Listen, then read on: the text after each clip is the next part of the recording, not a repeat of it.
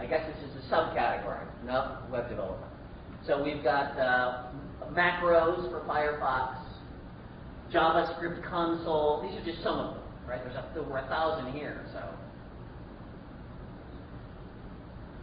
from here you can do a search within within this to see what's here, or you can just browse them all. There, there's too many here that I want to look at.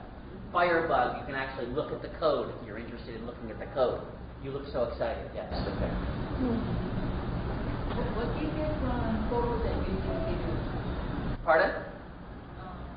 On the category- Photos, music video, links to, you know, uh, yeah, Pi- you know, a link to Picnik, a link to Picasa, a link. You're from this picture, you can link directly to Facebook and put it in your Facebook account. So, picture finders, video finders, video download helper. I mean, there's just there are too many to count for me right now. It used to be I could go through the list. I can't anymore. There are so many things that you can do with it. Okay? I showed you about nine. And, uh, am I in the right course? Yeah. Uh, if you go to this website, which is called i2z, and it's only called i2z because my students didn't give me a choice, click on Nyack College. Right here, there's a course for you, for stuff for you guys. And anybody can get into this course right now. And I have here something called Firefox add-ons. It's one add-on. So you come here with Firefox, click on it, and it'll ask if you want me if you want to install it. It will install the nine add-ons that I showed you. It'll install all of these. Okay, so rather than got, it's searching for each one, that one that's there will install all of them. But first you have to get the uh, Firefox. First, you have to get Firefox. But if you go to I2Z, click on Na- Nyack, uh, click on Nyack College, you'll be able to get to those. And again, it's one file, and then boom, you've got them all. Okay? So save it to your hard drive, and then open it, file open, and you get all nine instead of having to hunt for them all. Okay? All right. We okay with the uh, these add-ons? How do you, how long the intent? How do you turn around the page? You all are used to using Microsoft Windows, yes? Okay, up until Microsoft Windows 7, this was not possible. I, however, like my money. Okay, so you all give your money to, to Bill Gates or Steve Jobs. I use an operating system called Linux. And Linux costs nothing. I can download it for free. It's an open source package.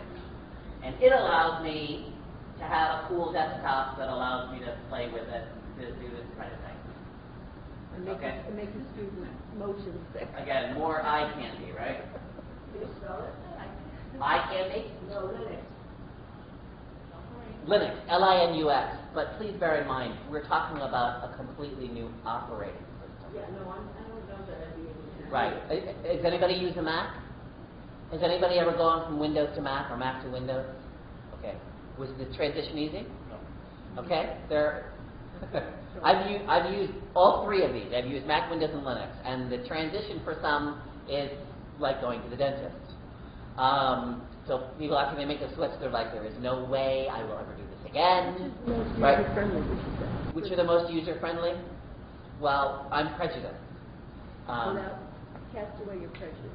For the Uh, for the for, for the typical person, um, the eye candy and uh, the quote unquote ease of use of, of a Mac is uh, rather strong. For other people, they were born and raised in Windows, and therefore anything else is going to be more difficult. Um, for someone like me who has used a variety of them and sees the power advantage, okay, they're going to probably levitate to something like a Linux. Okay, which is why I'm trying to tell you to go to Firefox. Is Internet Explorer good? Hey, it gets you around.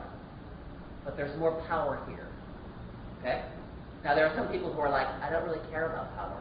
I want park, reverse, and drive. I don't need four gears. I don't need overdrive. Mm-hmm. Very different. Everybody's different. How long have you used Firefox? I've used Firefox for a long time. Before they had extensions.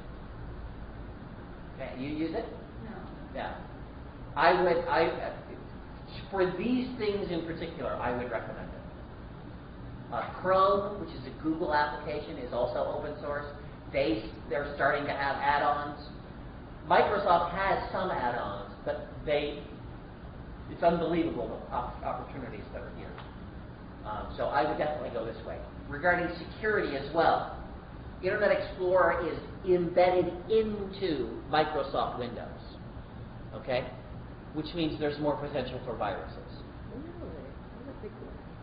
Because they're connected, okay? If Microsoft has a weakness, it's transferred to Internet Explorer. Okay? Go, go look at your standard security sites, and they will list far more IE uh, viruses because of that. Uh, okay, we okay with this? Uh, these are the examples. Google Docs, Google Tools. Um, I'm starting to use these all over the place because of their ease of use and their, again, power capabilities. Should we jot this down, or are we gonna get this? You, you're going to get this whole file, so I'm going to give this to you as a PowerPoint. Okay, actually, I'll just make it available to you on Google Docs. And if you want it, you can go get it. I can put it on the iTunes as well as a, as a share. Just go get it. But the real quick, to get it, to have access to these tools, you need a Gmail account. You need a Google account. Go to Google, set up an account, and then you have access to all these tools. Anybody have a Gmail account? Ah, dude, uh, three of you do anyway. Okay, it's no big deal. I, for actually for the longest time, resisted getting another email account. I bet you I have six or seven of them. They drive me nuts. I'm very glad I can do a lot of forward. Gmail will let you do that as well. But after you get Gmail, then you have at the top of your page, you've got things up here: Gmail, calendar, document. Okay, and they're just sitting there. For the most part, you just use Gmail or you just use Google if you're doing a search. But these things are sitting up there if you've logged in. Okay, and if you log in and you click on document, these are the documents that you can do. You can create a document, a presentation, a spreadsheet, a form, drawing. Presentation is PowerPoint. Document is Word. Spreadsheet is uh, what? Excel. Form is basically basically it's Excel, but it's in a form that makes it easier to understand. I sent you a form, I think, for uh, for a survey to find out when you wanted to learn and study or whatnot. Okay? That's ba- but it's basically an Excel spreadsheet. All of these I do through the browser. You pay nothing. Okay? No need to give Bill Gates any of your money. You do want to give money, by the way. My email address is yeah. Um, so it's free. It's also through the web. So if you're here and you need access to it, it's on the web. I, you don't need to say, oh, I forgot my stick.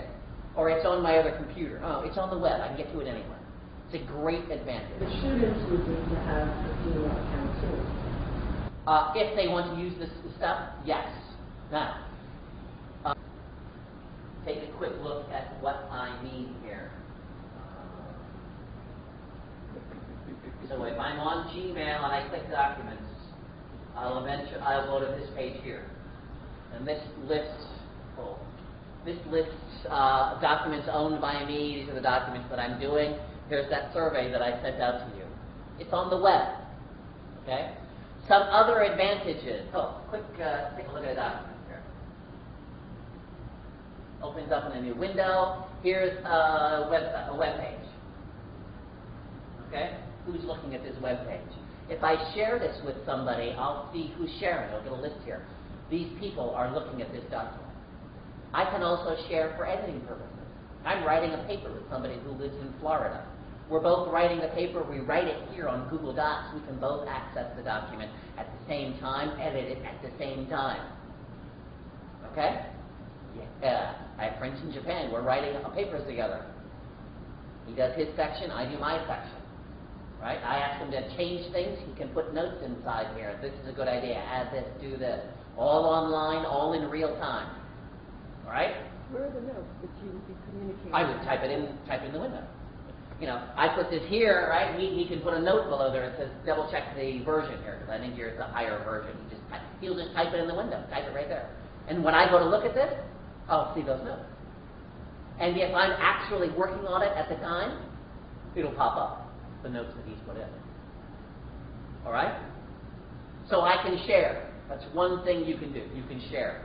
So you have something you want your students to